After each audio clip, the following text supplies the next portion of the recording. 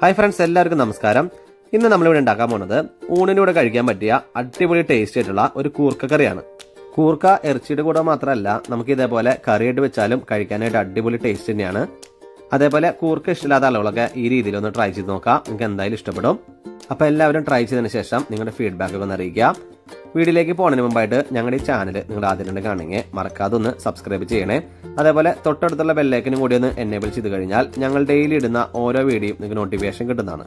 അപ്പോൾ നമുക്ക് നേരെ വീഡിയോയിലേക്ക് പോവാം.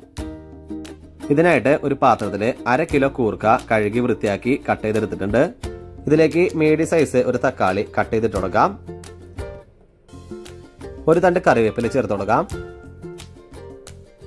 ഇത് കൂടാതെ കാൽ ടീസ്പൂൺ മഞ്ഞൾപ്പൊടി. രണ്ട് ടീസ്പൂൺ മല്ലിപ്പൊടി.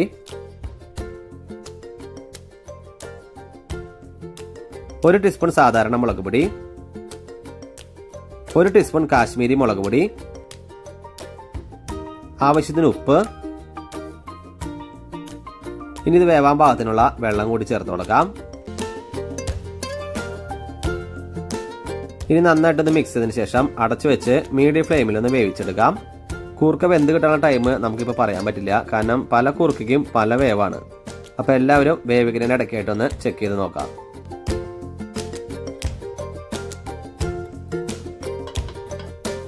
കൂർക്ക വെന്തുകൊണ്ടിരിക്കുന്ന ഇടയ്ക്കായിട്ട് നമുക്ക് ഇതിലേക്ക് വേണ്ട അരപ്പൊന്ന് റെഡിയാക്കാം ഇതിനായിട്ട് മിക്സിയുടെ ചെറിയ ജാറിലേക്ക് അരക്കപ്പ് കപ്പ് അളവിൽ ചിരകിയ തേങ്ങ ചേർത്ത് കൊടുക്കാം.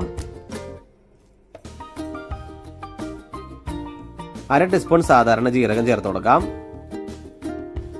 ആറ് പീസ് ചെറിയുള്ളി ചെറിയൊരു കഷ്ണം ഇഞ്ചി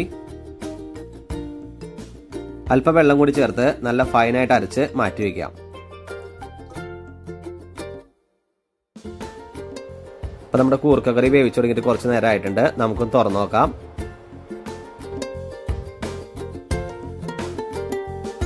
അപ്പൊ നമ്മുടെ കൂർക്ക വെന്ത് വന്നിട്ടുണ്ടോ എന്ന് നോക്കാം.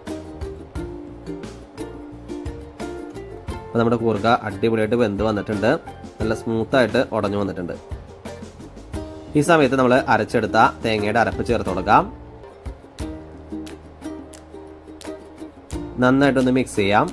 തേങ്ങയുടെ അരപ്പ് ചേർത്തതിന് ശേഷം ഹൈ ഫ്ലെയിമിൽ വെക്കരുത്. ഒരു ലോ മീഡിയം ഫ്ലെയിമിൽ കണ്ടിന്യൂസ് ആയിട്ട് തന്നെ നിളക്കി കൊടുത്തുകൊണ്ടേയിരിക്കാം തേങ്ങയുടെ അരപ്പ് ചേർത്ത് മിക്സ് ചെയ്തതിന് ശേഷം അധികമൊന്നും വേവിക്കേണ്ട കാര്യമില്ല. ജസ്റ്റ് തള വരുമ്പോൾ തന്നെ നമുക്ക് ഇവിടെ നിറക്കാം അപ്പോൾ നമ്മുടെ കൂർക്ക കറി തിളച്ച് തുടങ്ങിയിട്ടുണ്ട്. നന്നായിട്ടൊന്ന് മിക്സ് ചെയ്തതിന് ശേഷം നമുക്ക് ഇവിടെ നിന്ന് ഇറക്കി വെക്കാം.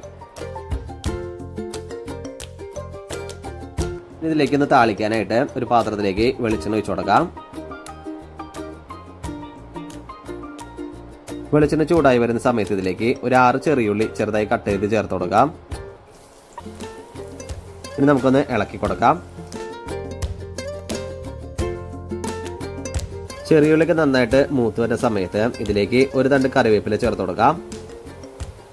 അതേപോലെ രണ്ട് വറ്റലമുളക് ചെറുതായി ഒന്ന് കട്ട് ചെയ്തിട്ട് കൊടുക്കാം.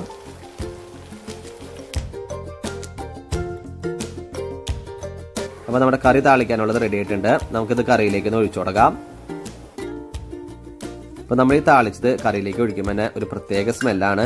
പ്രത്യേകിച്ച് ഇത് കൂർക്കക്കറി ആയതുകൊണ്ട് ഒരു അടിപൊളി സ്മെല്ലാണ് വരുന്നത് അപ്പോൾ നമ്മുടെ കൂർക്കക്കറി ഏകദേശം റെഡി ആയി കഴിഞ്ഞു. നന്നായിട്ടൊന്ന് മിക്സ് ചെയ്തതിന് ശേഷം ഒരു സെർവിങ് ഡിഷിലോട്ട് പാർത്താം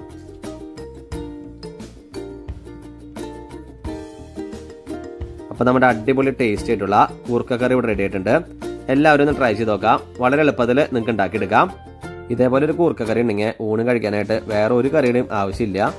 അപ്പോൾ എല്ലാവരും നല്ല ടേസ്റ്റ് ആയിട്ടുള്ള ഈ കൂർക്കക്കറി ഒന്ന് ഉണ്ടാക്കി നോക്കുക എന്നിട്ട് നിങ്ങളുടെ അഭിപ്രായങ്ങളും ഒക്കെ രേഖപ്പെടുത്താം. ഞങ്ങളുടെ ഈ വീഡിയോ ഇഷ്ടമായി ലൈക്ക് ചെയ്യുക ഷെയർ ചെയ്യുക. ഒപ്പം ഞങ്ങളുടെ ചാനലൊന്ന് മറക്കാതെ സബ്സ്ക്രൈബ് ചെയ്യുക.